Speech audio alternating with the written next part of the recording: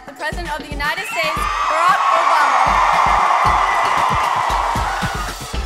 Well, it is good to be back in Buffalo. Good to be back in New York.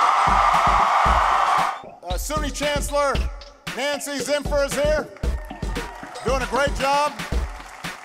University President Satish Tripathi is here.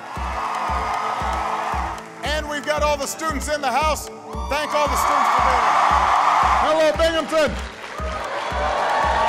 Well, well, first of all, let me thank the university and uh, your president, uh, Harvey Stenger, for having me here today. Give, give your president a big round of applause.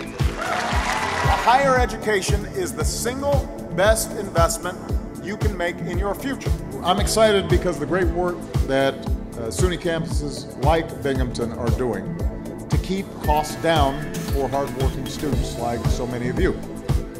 Chancellor Zimpher is making sure that hundreds of thousands of SUNY students all across the state are getting a world-class higher education.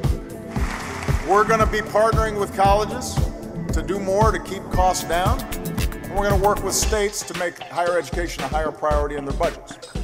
Now, if we move forward on these three fronts, increasing value, encouraging innovation, helping people responsibly manage their debt, I guarantee you we will help more students afford college.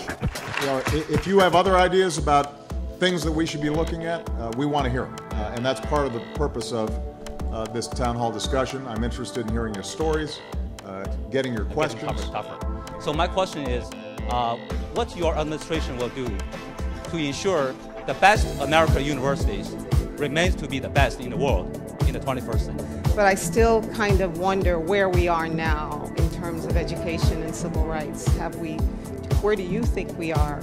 What do we need to do to kind of make sure is that based on or heavily based on uh, students' parents' income.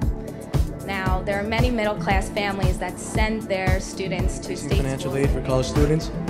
However, I feel that with the competitive job market, a bachelor's would not be enough to secure a job. My question is, will any of these funds go towards grad school programs, or will it be strictly limited to? Over the course of the next year, we will be talking to your university president. We'll talk, be talking to the chancellor uh, of uh, the entire system. We'll be talking to faculty. We'll be talking to students. We're going to do everything we can to make sure that not only are you able to succeed without being loaded up with debt, but hopefully you're going to be able to afford to send your kids to college as well. All right?